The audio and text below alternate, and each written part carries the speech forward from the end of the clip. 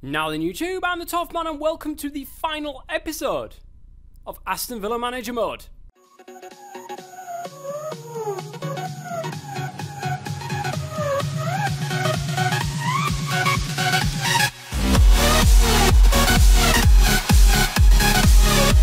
Welcome to the last and final episode of the Aston Villa Manager Mode. Not only is it the last of the episode of final... last and final episode of the Aston Villa Manager Mode, but it is the last and final episode of FIFA 15 entirely before FIFA 16 comes out. I will still be doing daily uploads on Haighyorkie, I just don't know what they're going to be just yet. So keep your eyes out, guys. There might be some new things coming along that I'm going to try out just until FIFA 16 comes out, and then I'm going to be banging all that content out for you guys. So, today, we find out whether or not we can take over the lead again from Manchester United. It's all in Manchester United's hands now. But not only that, we get to see whether or not we win the league. Um, all in this episode, we've got West Ham, we've got Southampton, and we've got Burnley. Now we've got a decent run in in terms of games. But we all know, guys, how this game is. And I mean, I have made it vocally clear in the last couple of episodes how this game can be. So we've definitely got ourselves, or at least I think we have, we just need one more win to get uh, Champions League football. And I was uh, not thinking at the start that it wasn't even going to be possible to get that. Uh, but we got the two signings, Sakho and Milner on the right, and we just, it's been a hell of a lot better. If I'd have kept Joe Cole on the right hand side, I really don't think we would have had anywhere near as much, um, you know, as much success. And again, with just Grealish on that left hand side, I don't think we've had a, uh, we would have had as much success. Um, Sanchez been absolutely key. Prödl at the back as well. Although he had a shaky start when he came, he certainly ended up being one of my favourite players that I've ever signed for any club. So that's saying something. Um, let's get straight on with it then, guys. The first game coming up is against West Ham. This is to win the Premier League, remember, guys, this episode. Let's see if we can do it. It is going to be my first team that's going to go out there, guys, because, uh, well, you know, what better way to finish off the series than using my entire first team all the time. We should be fully fit for the last three games of the season. And uh, they're pretty decent, guys. They are pretty decent. N'Zogbia could do with uh, an improvement, but he's still been fantastic. I mean, he's got good footwork as N'Zogbia. For a 76 rate, he's definitely got some good footwork. Uh, Fabian Delph has been fantastic as well, making improvements. Sanchez has been amazing. Prödl has been ledge. Uh, Guzan, not so much, guys. 79 rated, that doesn't make any sense. But Sakho's been brilliant on that left-hand side. What a signing he's been. And James Milner as well. But Benteke, just standout performer. Anyway, a home game against West Ham. The first game of the final episode of Aston Villa, and it is Aston Villa versus West Ham. It's a home game.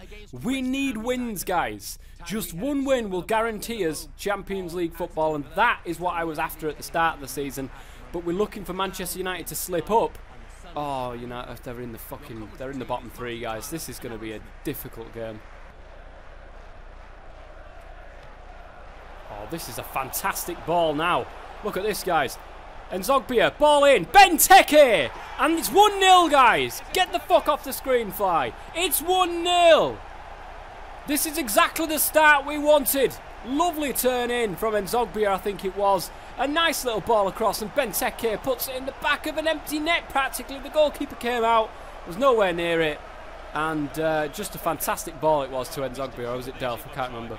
But what a ball across as well, and in the back of the net. Tried to hit the goalkeeper as much as he could there, but the goalkeeper sprawled all over the floor, and it's Collins nearly took his fucking head off. That is dangerous play. That little kung fu kick to the fucking face. But it's 1 0. Get in. Delph. Sakho. Strikes. And it's just over the bar there for Sakho. Pushing for a second already. Come on now, Aston Villa. This is what I like to see. Oh, that was close, that. That was really close. Down the left-hand side with Sakho. Cuts on the inside. No, he doesn't. Ah, fucking had you there, boy. Whips it across. Oh, it's the wrong fucking guy. Why is Benteke not there instead of fucking Delph or N'Zogbia. Don't give me that shit again at the end of this fucking playthrough, I tell you. And that's it. It's half time, guys, and the score is currently 1 0. Um, not really an interesting half, To be fair, there's one, there was one goal, and that's practically it. that's all that happened. But uh, let's see what happens in the second half. The score between Crystal Palace and Manchester United is nil-nil, guys. That is good. But look at that. I mean, it's we've had most. We haven't had most of the possession at all. What am I on about? Um, but two shots, one on target for both teams. Not a really interesting half, guys. I'm afraid. Oh, and here we go, guys. I've won the ball here. Fuck off! There's no way! Fucking bullshit! What a load of shit that is! What a load of shit! Come on, everybody, get fucking back! I'm on ultra defensive. Are you having a laugh? If that would have gone in, I'm fucking fuming. Where is everybody? I have it on ultra fucking defensive. Jesus Christ. What the flying fuck was that? I don't care. That's it. The game is over, guys. It was a slender 1-0 victory in the end. Other than a couple of key highlights that I can really pick out, it was a pretty boring game, I have to say, guys. But three points nonetheless, and we have to see what's going to happen with Manchester United. Let's have a look at the stats, though, first. Will that, will that be the first thing to pop up? Yeah, six shot, one on target for me. West Ham, three shots, one on target. They had more possession, of course. Let's see about the uh, the result. Well, it was nil-nil, guys. So we've gone back above Manchester United. We've got two games left of the season now. This is crazy. There is one point in it, guys. Okay, look at that, guys. One point ahead. That is exactly what we want to see. It is now in our hands of whether or not we can win the Premier League. It's going to be difficult these last couple of games. I have no doubt about it, guys. This is the team, it's my first team once again, that's going to be facing off against Southampton away from home this time. Second game of the final episode of Aston Villa and FIFA 15. Southampton versus Aston Villa at the St Mary's Stadium. Can we win? We need to win. We need to win. And also keep an eye on Man uh, see what Manchester United are doing because if they slip up and we win here, we've won the Premier League before we even go into the last game of the season. But we need to beat Southampton first, regardless. And the ball straight down the right here. I'm trying to get in front of the man here. Fuck off! This is bullshit! I fucking hate it when they do that. Because it just doesn't make sense. My guy just stops like, firing all the fucking players. Bullshit. Going down towards Shane Long. Tries the ball in the middle. Lowton's just giving him it back. Tadic. Come back to Tadic. And fuck. Holy shit. Tried to get my centre backs across and they're fucking not moving. Davis. Ball in. Del fucking hell. Row the ball, and it's 1-0. Southampton have been all over me in this first half, guys. I've got none of the ball, and when I do get the ball, they're so slow in possession. So fucking slow. And Southampton easily just popping one away there. Just so easy. It's half time, guys, and the score is 1-0 to Southampton at the moment, guys. I cannot get the ball anywhere near their goal, and when I do get it into the box, it's a crap ball into the box and I just can't I can't do it. I literally cannot do it at the moment. It's 1-0 at half time. Let's have a look see about the uh, other results from around the country. Southampton have just oh shit, I've just fucking skipped it. Look at that. No shots, none on target, and Southampton have absolutely fucking owned me. And I can't I can't see the other results now, but um what's this? No, we can't restart the match. That would be cheating. In towards Sanchez now. And there he is. Ready and waiting! Oh, Benteke! Ah, it just doesn't seem to be our time, guys. It really doesn't seem to be our time. That's our first effort on goal. And it's Sanchez who whipped that ball in, not fucking Milner. Milner's been all over the goddamn place. Shit today. Schneiderlin for fuck's sake. What is the point in standing challenges or sliding challenges or any challenge for that matter? Because it just goes past you like you're fucking not there. Oh, this is ridiculous. What the hell is that? Well, I can see the Premier League just slipping away, guys. Just Shane Long as well beats the goalkeeper. It doesn't make sense. I mean, look, it's fucking bullshit.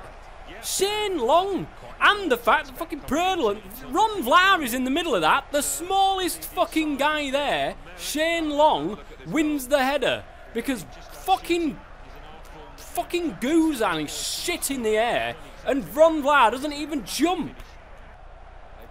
Pelle, surely it's going to be three because I can't get near the fucking ball here. Ron Vlaar gets it out for a corner. When you see the stats of this game, it's just FIFA. It's just FIFA, guys. It's the end. We've lost 2-0, so whatever advantage we did have in the last game, it's all going to come down to the final game of the season. We've definitely got Champions League football, so, you know, goal accomplished. But I was so hoping to win the league, but we've had a horrendous time of it lately. Let's go and have a look at the stats. Fucking Southampton just ripped me apart. Absolute 50-50 possession. Fuck you. Fuck you. That that is complete and utter bullshit right there, guys. Complete and utter fucking bullshit. There was a guy at the back. Um, what's his fucking name? For Southampton. And he was just every fucking where. Gardos. That was what his fucking name was. He was absolutely fucking everywhere. Everywhere I turned, I just could not get past that guy because he was there. It doesn't matter if it was in midfield. It doesn't matter if it was right fucking back, left back. Gardos was always fucking there. Every which way I fucking turned today. Two shots, one on target. It was woeful. Absolutely woeful. Let's take a look at that. Manchester United beat Arsenal 2-1. It's all down to the last game of the season, and it's back on Manchester United. Well, guys, look at that. Two points ahead of Manchester United. They need to lose. If they draw, then it goes down to goal difference. In which case, oh my god, that is so fucking close. That is so close, guys. But, I mean, when you look back a, a month or two, when we were massively ahead, I mean, it just is it script? Is it me or is it scripted? Is it seriously scripted to to make you have a, a, a bit more of a juicier finish to the season rather than just running away with it? Is it just me? I'm sure it can't be. I'm sure it can't be. But anyway, we don't have to worry about it anymore, guys. This is our last and final game. I'm going to go out all guns blazing with my team. We've got Champions League football, which is exactly what I hoped for at the start of this playthrough. So whether or not we can win, well, it's been a very interesting last few games and a very interesting last few episodes for you guys. But we're going to finish everything today with a home match against Burnley. The last and final game of the last and final episode of the last and final series of FIFA 15 is here, guys. It's Aston Villa versus Burnley. Burnley are bottom, so we're probably going to lose this one, guys. We've already got Champions League football. That is what I set out to do. We need Manchester United to lose, and we need to win to win the Premier League. All comes down to the last game of the season, guys. Sakho. Still Sako. He's going all the way. Sako. Oh, and he nearly, nearly got all the way through there, did Sako. What an absolute legend he's been. What a signing that Sakho's been for Aston Villa on this playthrough. Whips it in. Benteke! It's 1-0! It's been chalked off for offside. Fuck you, game! There's that fucking gremlin in there again. That was, I thought that was on. Oh, that is fucking harsh, man. That is harsh. Benteke can't turn for shit, though. It's like trying to turn a tank. It's fucking stupid, is this game, for turning the fucking players. It has been for months. Since they brought that system in, it's been fucking stupid. Go on! Benteke! Oh, how do you save that? God! It really wants us to fucking work for it. It really does. How they can save those fucking goals, I have no idea. We've had a goal chalked off and the C-sack with an absolutely fucking world-class save right there. Prödl! No, it's not fucking Prödl. And it falls to um, the opposition. Ref, that was a foul. Let's have it. Look how long it takes. Whips it in. Benteke! Yes! Get in! We just need Manchester United to lose now. And Burnley not to score. But finally, Benteke gets one on target, and it's not offside, guys. Get the fuck in there, son. 1 0. Benteke with the strike. Ooh, that was a close one there from Benteke. A nice effort just before half time. What was that? What the fuck was that? You call that a pass? Look at the amount of power I get on that pass as well. Look, it's fucking stupid. Oh, good skill. It's fucking half-time bullshit time. That's what it is. Didn't intercept it. It's Chalobah. Still Chalobah. Been about seven minutes added time here. Ings, Guzan can't fucking hold shit. Look at him. Look at him. You shit bastard. You fucking caused us, uh, like, God knows how many points of damage this season, I swear. The corner.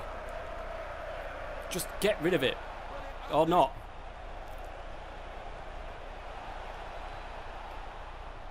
How much more time are you going to put on here? Fucking thank God for that. We've survived the first half. Holy shit. It's currently 1-0. We've been all over this, guys, until the last fucking bullshit time of half time. But we need to know what's happening in that United game. We need to know what's going to happen in that United game. And currently, Manchester United are drawing with Hull City nil-nil. As it stands, we would win the Premier League on goal difference. That is crazy. Holy shit. We could be 45 minutes away from winning the Premier League here. Or probably Manchester United will score in the last fucking two minutes. Sanchez's ball of the top is a lovely ball as well towards James Milner. He cuts back, whips it in, bent! It was right at him. All he had to do was stick it in. Look at those ears. All he had to do was stick it in, guys. But nothing. Absolutely nothing. Towards Fabian Delph. Ball towards Sanchez now. Sanchez! Boosh! Oh, fuck! no! Oh, piss off with the fucking shit system. Pass the ball! Fucking hell! Kightly. Trippier. No, come on. Get the right player selected at least. Yes! We won the game. Well, you've got to look at them over the course of the season, Martin, and well worth their title as champions here. I have. Did we win? Did we actually win the league? I think we may have won the league, guys. I think we may have won the league and possibly did it on goal difference. In the last episode, in the last game of the season. It looks like we have. That is crazy. Oh my god. Yeah, there's the confetti saying that we are in fact winners of the Barclays Premier League. Get in! Fuck you, Manchester United! Not having that! It's not the fucking colours of Aston Villa, but still. There we go. I I honestly thought that we'd lost it there, guys. But last game of the season, Manchester United slipped up. And we've won the Premier League. That I, I'm surprised. I really am surprised that we won that. Two scrappy 1-0 victories in the last episode, guys. Two scrappy and one fucking absolute mauling by, South, by Southampton. Scripted. Who the fuck knows? Who the fuck knows? But look at that. We've won the Premier League. That is crazy. That is crazy. When I started the series, guys, I wanted to get into uh, European football. That was my aim with Aston Villa. But quickly, after a couple of really good signings, we ended up up there. We went through a period where we were kind of like mid-table, but then we went bang straight up there. And uh, what can I say? What can I say, guys? A 1-0 victory. Burnley's one shot, one on target. And it was Hull 1, Manchester United nil. Hull actually beat Manchester United, guys. Wow. I'm, I'm genuinely surprised that we won that. Genuinely surprised. Chelsea ended up cl pretty close behind. So Aston Villa, Manchester United, Chelsea and Arsenal get Champions League football. Where did fucking Liverpool finish? Eighth. oh, never mind. So going down will be Leicester, Sunderland and Burnley who try as they might just couldn't win in that last game. Even though they did fucking try, I can tell you that much. But Southampton, look at that, the way down there, and they absolutely fucking mauled me. 122, drawn 8, lost 8. One point in it. That is crazy. Anyway, guys, that is going to be it for FIFA 15. Yes! No more! Do I have to play this shitty game?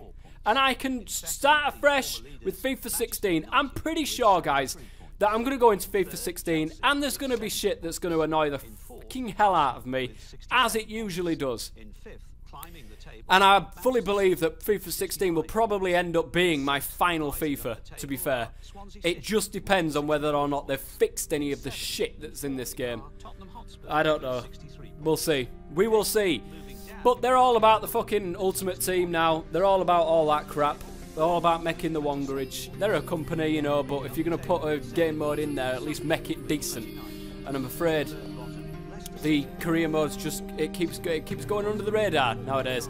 But anyway, guys, that is it for the Aston Villa manager mode. I do hope that you've enjoyed it. If you have, please go ahead and leave a like, guys. Go ahead, make some comments on this last and final episode of 15 what do you know? What do you, what do you think for FIFA 16? There will be a video coming out relatively soon, guys, on which team you want me to be for FIFA 16. I'm going to stick a straw poll in that video for you guys, um, and we'll see. But thank you very much for watching, guys. If you followed this series, 17 episodes of brilliance, and also 17 episodes of utter annoyance, and also 17 episodes of moans. Here's to more moans. Anyway, guys, I will see you in FIFA 16. Until then, guys, I've been the top, and as always, stay safe.